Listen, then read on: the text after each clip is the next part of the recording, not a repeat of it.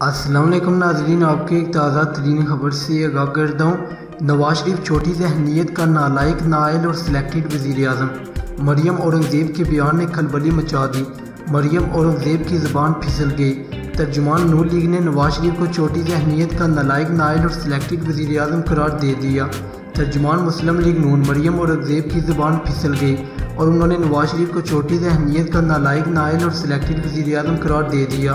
مریم اورنگزیب وزیر اعظم عمران خان پر تنقید کرنا چاہتی تھی، لیکن انہوں نے کہا کہ چھوٹی ذہنیت کا نالائق، نائل اور سلیکٹڈ وزیر اعظم آج کوٹ لکھ بت جیل میں بند ہے اس سے قبل گزشتہ روز بھی ان کا ایک جھوٹ پکڑا گیا تھا، جب پاکستان مسلم لیگ نون کا اجلاس ہوا، جس میں پارٹی قیادت نے شرکت کی لیکن کچھ رہنما شریک نہ ہوئے، جن میں محمد زبیر بھی شامل تھے۔ اجلاس کے بعد پریس کانفرنس کے دوران ایک صحافی نے سوال کیا کہ محمد زبیر اجلاس میں کیوں شریک نہیں تھے؟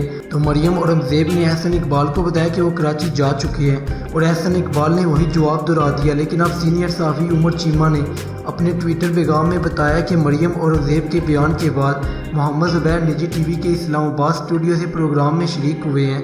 جبکہ محمد زبیر کا اس حوالے سے کہنا تھا کہ اجلاس میں کیوں شریک نہیں ہوا، تبصرہ نہیں کروں گا۔ یہ پارٹی کا اندرونی معاملہ ہے۔ سینٹر پرویز رشید نے اس پر رد عمل دیتے ہوئے کہا کہ مجھے پہلے بھی پارٹی اجلاسوں میں کم بلایا جاتا ہے۔ پارٹی اجلاس میں چند لوگوں نے جانا ہوتا ہے، اس میں ہزاروں لوگ تو نہیں جا سکتے۔ یاد رہے کہ اس سے قبل بھی سیاستدانوں کی زبان پھسلتی رہی ہے اور وزیر اعظم عمران خان بھی کئی بار غلطی کر چکے ہیں۔ تو ناظرین، آپ اس پر خیال رائے رکھتے ہیں؟ اپنی رائے کے اس حال میں کمنٹ باکس میں دیں۔